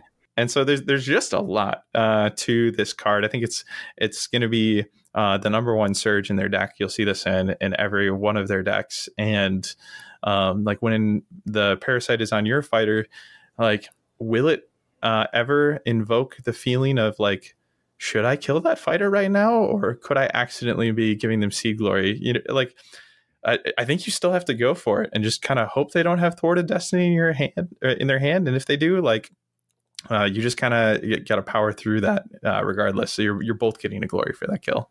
Absolutely. Uh, the one that I'll call out is far and wide. So this is an end phase, and it says if the fighter that has your Warband's Bane of Heroes upgrade is holding an objective, uh, score one glory. If that objective is in enemy territory, gain an additional glory point. So very interesting card here in that it doesn't care if it's a friendly or an enemy fighter, but they do have to be holding an objective. So beasts won't ever score this but they do have to have your Warband's Bane of Heroes upgrade. So in the mirror match, you do have to keep track of whose Bane of Heroes is whose. Uh, I just really like this because like there's going to be times where you know you're playing an opponent who wants to hold objectives, and you're like, here, have the Bane of Heroes, and they'll just have to be like, can I afford to hold an objective with this fighter, or am I just going to be handing uh, a glory or two to my opponent when I do this, um, and I, which I really love. And then, of course, if you have a good fighter for holding as well, uh, you can just be like, "Yep, I've got this fighter sitting on this objective with this Bane of Heroes. Like, you could choose to leave me alone, and I'll just sit here with this thing that's just sucking the life out of my fighter." But you know, if you do, I'm probably going to score two glory off of this. So pick your poison, I guess. Um, some really fun, uh, some some sort of dilemmas you can put your opponents in with stuff like that, and I really enjoy that play space. Yeah, I love that this uh, gives you that additional glory if you've managed it on an enemy fighter. Just so rude. Yeah, yeah, in enemy territory specifically. Uh, but oh, oh, my bad. Yeah, uh, so you oh, do have control right, of like. I see. Yeah. Uh, yep. Read, read the card. Yeah. Yeah. in, in proper. So it's like, ooh, it's easier for your opponent to get you, but do they want to get you? Who knows? Uh, yep. But let's let's move on. We've got a number of interesting gambits here. What what direction do you want to go? There's there's a whole bunch of cool. Oh my stuff. gosh, yeah! Like just like you're first acquainting yourself with Voidcursed Thralls, there's so much like interest to dive into here. And the card I'm to pick is Sudden Swap. Uh, choose two friendly fighters. If one chosen fighter has your Warband's Bane of Heroes upgrade, you can remove each chosen fighter from the battlefield, then place each fighter in the hex the other fighter occupied when you chose them. So uh, the reason I like this card so much is because I've messed around with Unexpected Arrival in the Malevolent Masks stack. So when I saw this one here, I wanted to call out the parallel because Unexpected Arrival requires both fighters to have a mask upgrade. Uh, and it's um, like it's interesting because the more masks you get out, uh, the more like your options at any given point in time, um, like uh, are available to you for you know for for unexpected arrival. But here, like there's Bane of Heroes is entering the game right away. Like unexpected arrival requires you to have like invested two glory generally at at some point in time to get those masks out. Here, your swap is fueled immediately just by the fact that um, you're playing Bane of you're playing this deck and Bane of Heroes will be there. Um, so at any point in time, for you to be able to say that fighter there, uh, it can swap with any other one of my friendly fighters because that's the one with the parasite on it. I just think that this is gonna, um, this is gonna make games. This is oh, gonna yeah. be a really good card. There, sh- there should be tons of really heady play with this card. Uh, totally agree. Very good choice. Um, I'm going to pick one that also has, I think, a lot of interesting implications and heady play, and is called Tempting Lure. This is a reaction that you play after a fighter's move action. You then get to choose a friendly fighter. You can push the chosen fighter one hex closer to that fighter. if the fighter that made the move action has one or more Bane of Heroes upgrades, you can then push the chosen fighter up to three hexes closer instead. Uh, so there, there's, there's a million different directions this can go. Um, but but the like the easiest thing would just be to say oh okay i you know i i move a friendly fighter i pick a friendly fighter i move you know the friendly fighter closer to the fighter uh, that moved if you can hand off the uh, bane of heroes uh, you can then have ways of pushing fighters like in for supports against your opponent opponent's fighters bane of heroes upgraded fighter or uh, if you're moving your own Bane of Heroes upgraded fighter, you can then like more quickly pull people along. Um, there's just a lot of different avenues for how to reposition fighters after a move with this. Um, and and since it can be any fighter's move, like you can really use this when you need it and not um, specific to the Bane of Heroes part. So um, you you just have lots of flexibility, and I like uh, repositioning cards that have lots of flexibility. So, yeah, um, continuing um, on the parallels, this feels a lot like um, the refashioned reactions, refashioned priorities yeah. uh, space in in Voidcursed, right? Very much, and it's like a it's a card that has counter charge baked into it, but isn't just counter charge, and that was already a great card, like back in the day when when it was around. Yeah, yeah. Uh, Very... It's situational. Uh, don't get me wrong, uh, but uh, there's so much application here. Yeah, I think I think if if like you should be able to find a use for this card. If you can't find a use for this card, I don't know what your deck is doing. Um, maybe if you're playing hold objectives or something, like pushing towards a specific fighter is not always useful, but um, yeah, should be very good. There's lots you can do with that. That brings us to our upgrades. We are coming close to wrapping this up. Uh, there's a, a number of really cool ones. What is one that you would like to call out? Yeah, Whew, this is uh this is hard to pick one. So I'm just kind of throwing a dart here and grabbing Stolen Vigor. Sure. So as a reaction, use this after this fighter's second or subsequent activation in a phase, and I really like that caveat.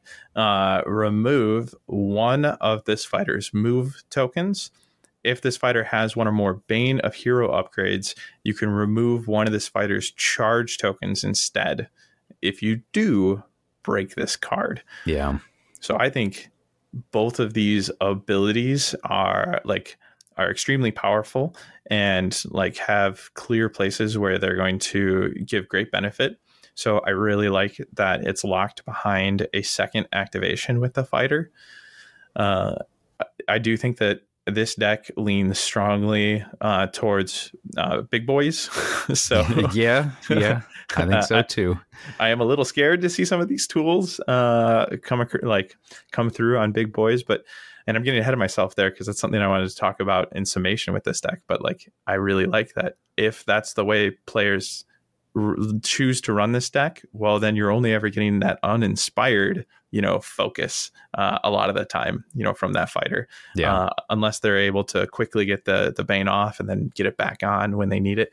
Uh, so but here uh, move tokens can be really punishing right? So if you're up against like toxic terrors uh, or even uh, Force of Frost, and somebody's put a move token on you and are going to prevent you from being charged out, this card can just totally save that situation for you. Go ahead, activate that fighter, uh, just go on guard, you know, or whatever it is that you can do with that fighter. Mate, uh, but then, like when you activate them again, you're going to be able to remove the move token from them. So you're going to need to use some of the tools in this deck because it is after um, the second activation.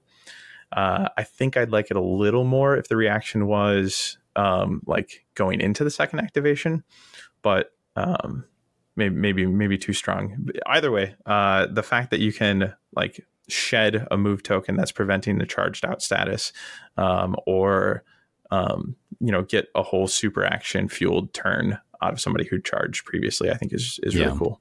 Pretty good, pretty good. Um, there's some action economy stuff there that is pretty scary. Um, obviously, I think one thing that's worth calling out is fighters with ranged attacks. It, it gives them a much easier avenue into taking that additional activation without having racked up, you know, additional tokens. So you could like move, attack, remove your move, then charge. Uh, yeah. Pretty strong. So something to watch out for. I think it's a good card. Uh, since you mentioned some Inspire stuff, I'll I'll grab on this upgrade here. Uh, Divine Fortitude. So it says this fighter cannot be dealt damage by Bane of Heroes upgrade, by a Bane of Heroes upgrade, so either players, which is interesting.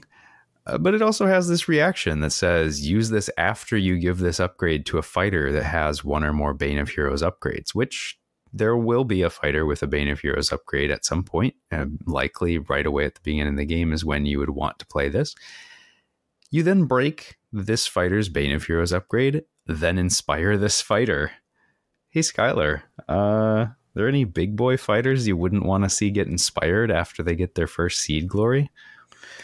Uh, all of them? yeah, right? Um, yeah. Yeah. Yeah. So the interesting play here, of course, is that once you do play this out, if you want to put the Bane of Heroes back on that fighter, it would uninspire them again, and they do not get to re- uh, get to react again because the reaction triggers from playing the upgrade. But nonetheless, even just a couple turns of like an early inspired Kainan or an early inspired Mollog is really terrifying. So uh, something to think about there. And then even if you end up putting the Bane of Heroes back on them, they at least won't take damage from it going forward. So I think this card is definitely going to be in this deck all the time. And I think there's going to be lots of really interesting applications because most of the time you can find a fighter where inspiring them is going to be a big stat boost. Yeah. Yeah. yeah. Should be fun, right? uh, you know uh, what? I, am glad Stolen Vigor is uh, not reacting into into the second activation. I take yeah, it back. Yeah, yeah take it yeah. back. Absolutely. Yeah, I, I was thinking about it when you were saying it. I was like, "Ooh, that'd be spicy." Um, but yeah, so I I will say there is a lot more to dig into with this deck, but we are going to leave it at that. Uh, any parting thoughts for this deck before we close out this episode?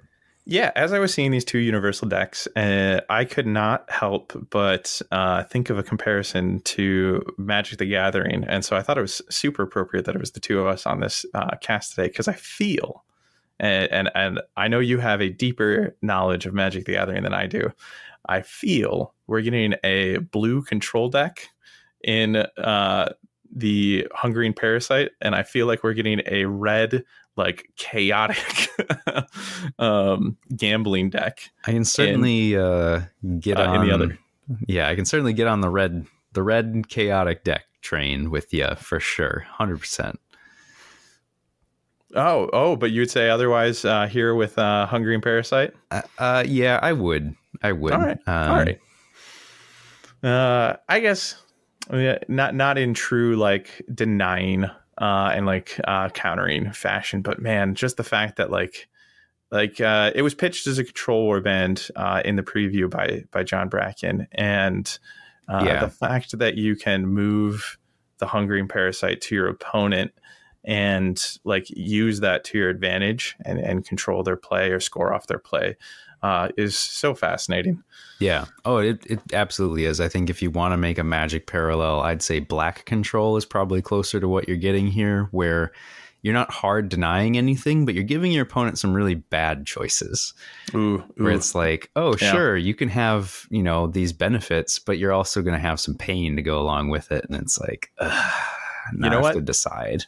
That's spot on. that, that's it. That that must be why I'm drawn to it too. Uh, yeah. That was that was my favorite type of uh, deck when I when I used to play that game. For so. sure, for sure. It should be uh, very fun, very interesting deck. Yeah. Uh, overall, I, I'm really excited to see. I, I wish I wish I could say I was uh, solely excited to see how this release box was going to shake the meta, but there's no telling. Yeah. Uh, so there's, the meta is too many other things all at the same time. the meta is about to be thrown into a box and then shaken. Yeah. Yeah. and then we'll see what comes out, right? Yeah. It, it's um, a wild time, but I, I think it'll be fun. I think we'll see a lot of different play styles just naturally because of all the new toys for people to play with. I think people will be like gravitating towards like, hey, let's try out something new and see what sticks. And that's always a really fun time. Agree. Yeah.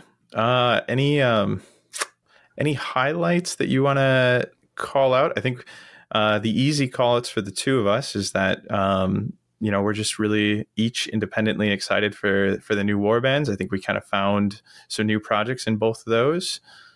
Um, yeah. Any, anything anything else you want to highlight for um, us or, or or for you know the the broader audience that's uh, getting their hands on this box in a couple weeks? I think that this is just going to be a really fun uh, toolbox to get to people for folks maybe who aren't brand new to the game, but for people who are uh, already well invested and and want a bunch of new interesting things to add into their games. Uh, I do wonder about some of like the difficulty level. Like, there's certainly a learning curve with this box. Like, nothing is straightforward in this. Absolutely. Box.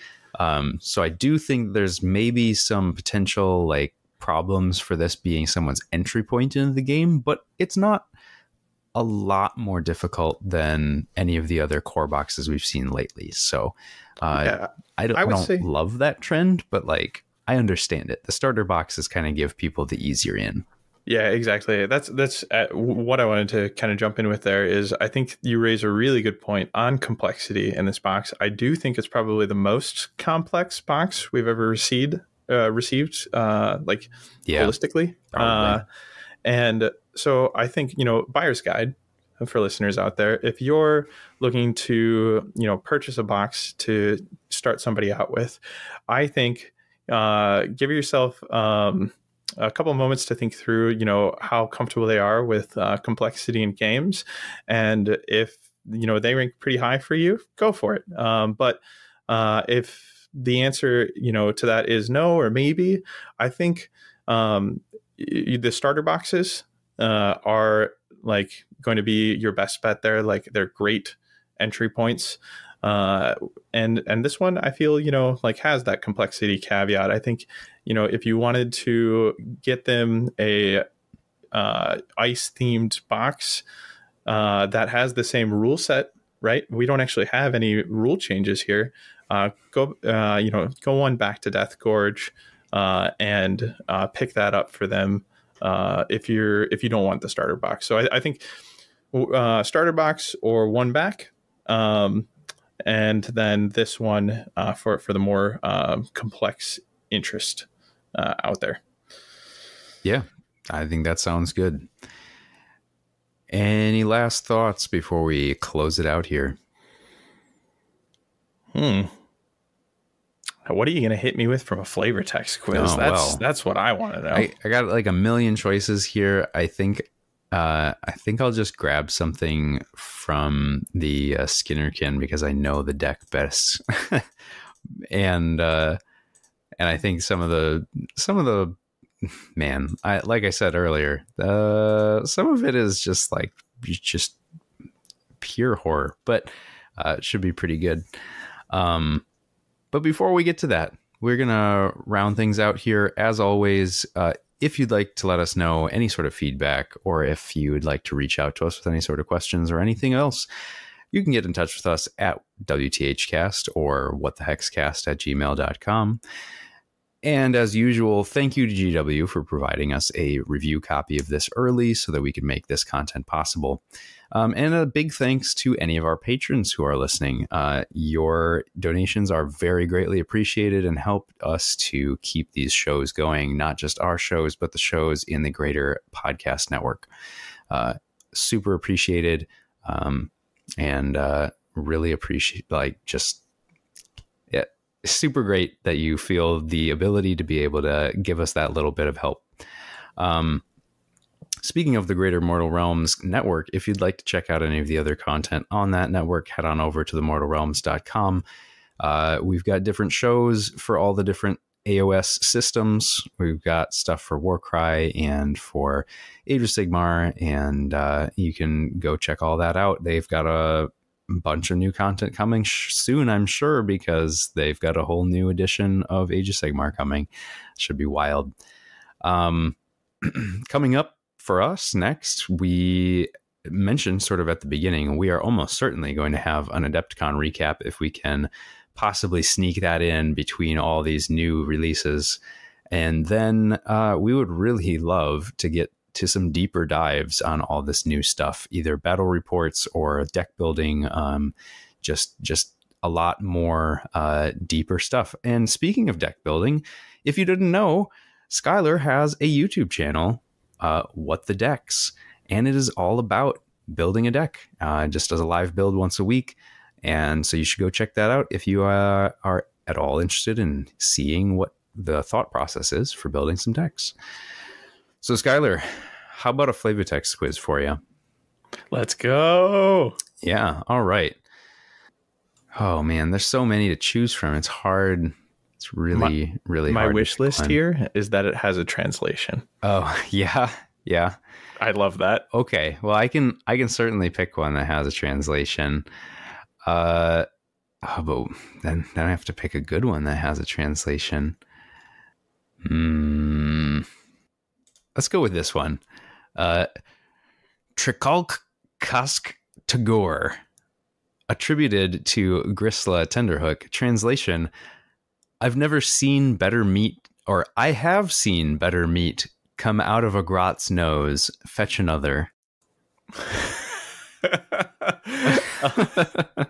oh man. Um, is it oh back to the kitchens? It, it is not. Uh, I will okay. give you a first hint. It is one okay. that we talked about in the episode. Uh, it was Ooh. one of the call outs. It was one of our call outs. Okay. So then uh it's not he likes it fresh. Is it? Uh, no, I wouldn't say plated banquet. Ooh, I'm working through this. Not well, not, not, not slaughterhouse. Uh, okay, okay, hold on. So we're we're we're into power. Um, what did we talk about in power? Uh, You're right. We're in the let's power. See. Okay. I, I picked aspiring artisan. Uh, this is the most reverse engineering I've ever done to get to a quote. And that one I think was too wordy. I'm trying not to spoil anything for myself. I think that was too wordy to fit a quote on there if I had to guess. So then, oh, what did you pick? Un. Did you pick unfit for a king? Oh, it's unfit for a uh, you're king. You're right. It? It's unfit yeah, for a yeah. king. Uh, oh, perfect. Yes, very, very, very good there. And then, uh, all right, to to fi- finish things up here, uh, Davey had a recommended listening for us, and I felt like this this was something that we need from us straight out to GW. Uh, recommended listening is "Slow Down" from Paul Cauthen, and that'll do it for us today. For what the hex, I've been Phil. I feel that one in my soul. I've been Skyler.